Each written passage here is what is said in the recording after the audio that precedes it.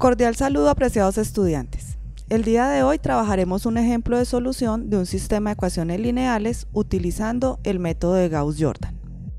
Recordemos que para aplicar este método debemos seguir un procedimiento donde se realizan las operaciones elementales entre filas para transformar la matriz en escalonada reducida y así llegar a la solución del sistema.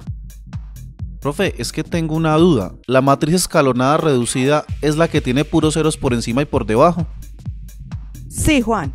Debemos convertir la matriz inicial en una equivalente que tiene sobre y bajo su diagonal ceros y la diagonal principal con elementos iguales a 1.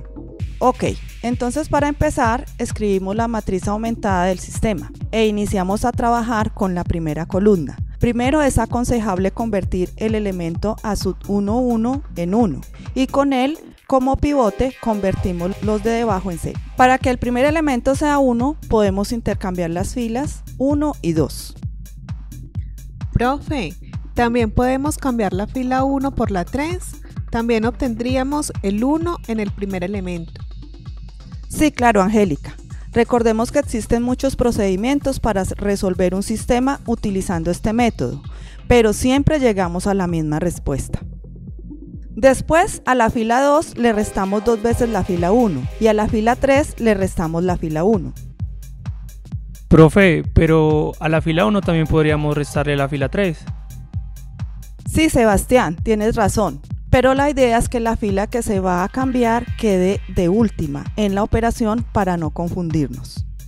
Ahora multiplicamos por menos 1 la fila 2 para convertir el elemento a su 2, 2 en 1 y seguidamente utilizarlo para convertir los elementos de arriba y debajo en 0.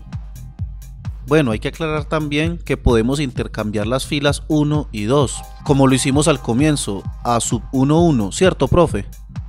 En este caso no debemos hacerlo, Juan, ya que desordenaríamos la primera columna, que ya está como lo deseamos, un 1 arriba y debajo de él ceros. Angélica, por favor explica el procedimiento a seguir.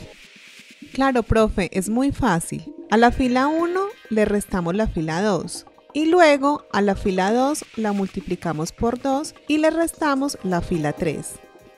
Claro, Angélica, para conseguir los ceros de arriba y abajo del 1. Compañeros, ahora multiplicamos la fila 3 por menos un noveno para convertir ese elemento en 1. Muy bien, se nota que están comprendiendo el proceso. Juan, continúa. Claro, profe, con mucho gusto. Mire, luego multiplicamos por menos 5 la fila 3 y le sumamos la fila 1 para así obtener un 0 y después multiplicarlo por 3 la fila 3 y le sumamos la fila 2 para el otro 0.